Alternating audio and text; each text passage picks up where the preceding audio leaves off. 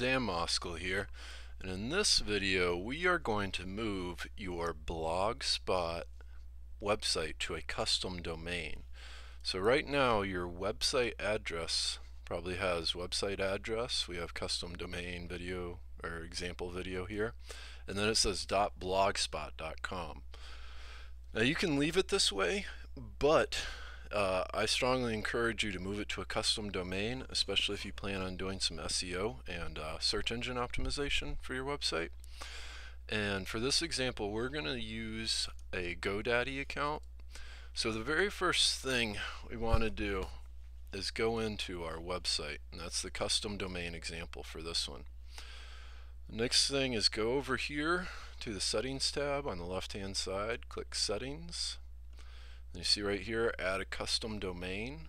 And this is right over here with publishing, blog address, custom domain video.blogspot.com. You want to hit add a custom domain.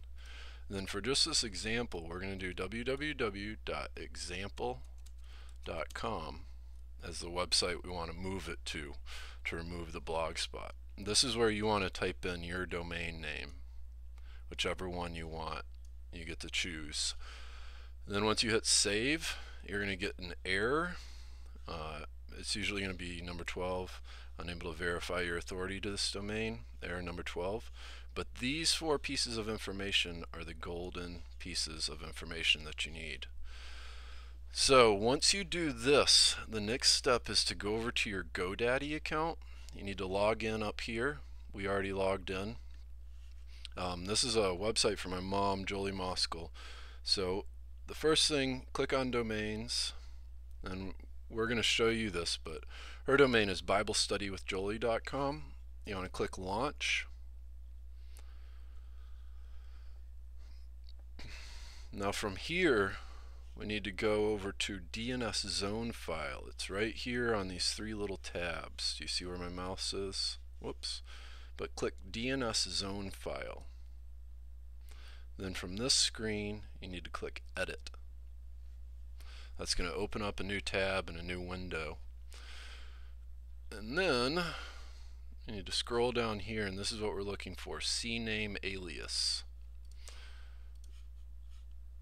Scroll down here, and where it says www, this is probably the last row on your GoDaddy account. You need to click on this little pencil button.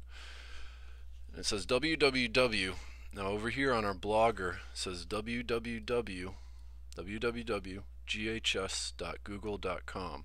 You need to take this second part, ghs.google.com, copy this, and then you need to paste it in right here. Currently yours probably has an at sign.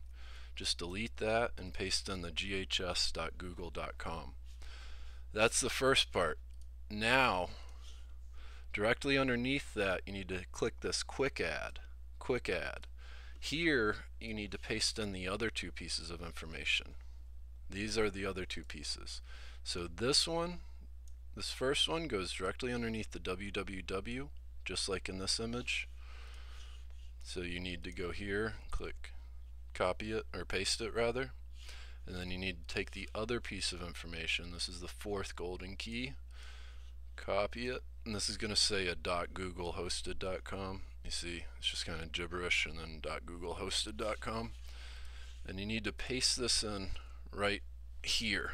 So you have one piece, two piece, three piece, four piece.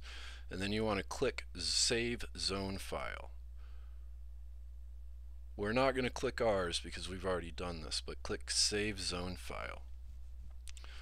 Once you do that, you can see ours is already right there. We are, ugh, sorry, we have already done this. But once you click Save Zone File, you're almost done. After you click Save Zone File, it's going to save something and it's going to take you to another screen. But we're going to go back to my account because there's only one last step you need to do. Click on Domains. I'm sorry. Actually, I think we can get there from here.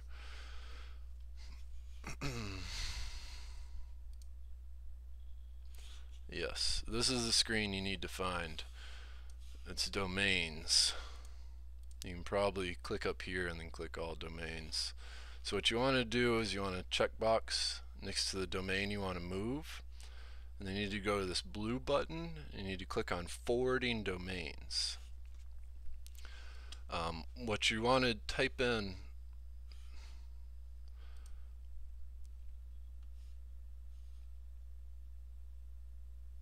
whoa. What you want to type in is www dot and then this is your domain. The custom domain that you've chosen. Ours is BibleStudyWithJolie.com because we're moving my mom's website. I'll show you in just a second. And then click edit click save or add it and let's just check it and just make sure okay it's gonna take a little while. I think it'll take up to 48 hours.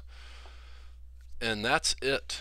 Once you have it forwarded and you have these four pieces of golden information plugged in it'll usually take an hour or three.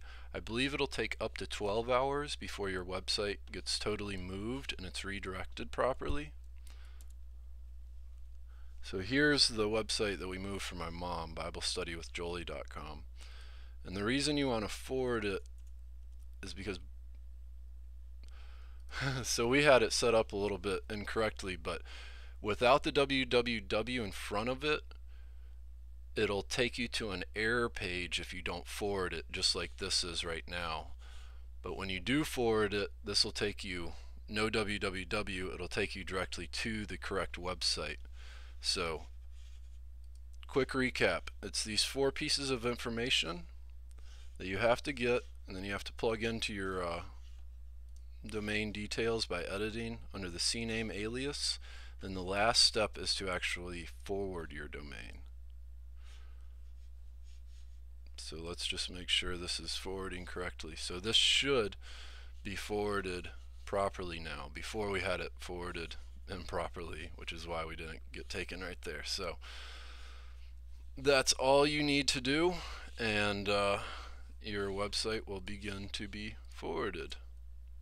Okay, so right now it's still taking us to the wrong page, but that'll take an hour, three. I believe it'll take up to 48 hours. And uh, just to see how this image changes, let's go back over here.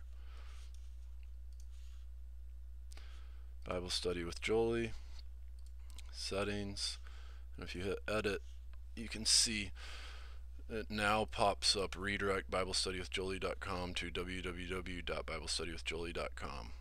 Um, I believe this will be checkboxed automatically, but uh, you do want it to redirect, so make sure this is checked.